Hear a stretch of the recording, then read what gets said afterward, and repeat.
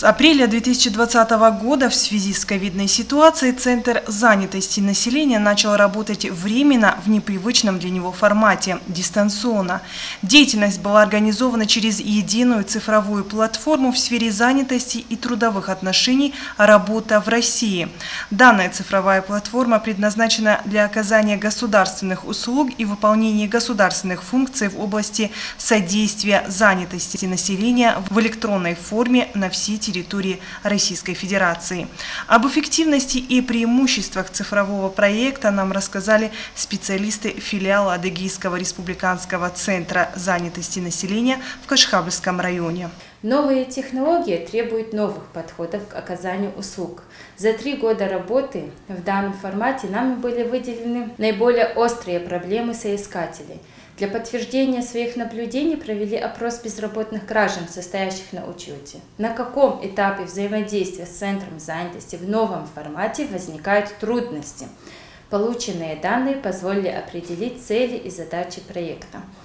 Основной целью проекта является социальная адаптация к новой цифровой среде и формирование базовых навыков в сфере компьютерной грамотности соискателей, необходимых для получения государственных услуг в электронном виде для повышения конкурентоспособности на рынке труда.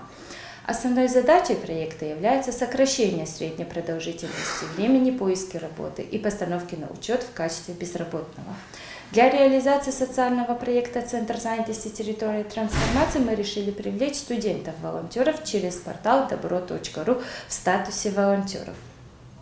Волонтеры выполняют функции цифровых консультантов, которые помогают в грамотном составлении резюме, что является визитной карточкой соискателя, позволяя выделить его ключевые навыки и достижения, облегчая процесс рассмотрения кандидатуры. Когда что-то не умеешь, и не понимаешь, это очень-очень большой стресс.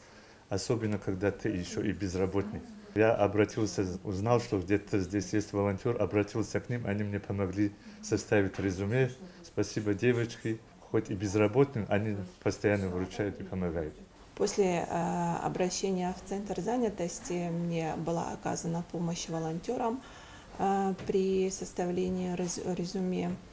А, потом мне была значит, выбрана программа для дальнейшего обучения, вследствие чего, то есть для повышения квалификации, а, которую я прохожу успешно на сегодняшний день. Вот на днях будет завершена учеба. Работники филиала отмечают, что привлечение волонтеров помогло повысить уровень качества и скорость взаимодействия граждан с сотрудниками. Считаю, что данный опыт для практикантов наиболее погружает в процесс деятельности организации, развивая навыки работы в коллективе.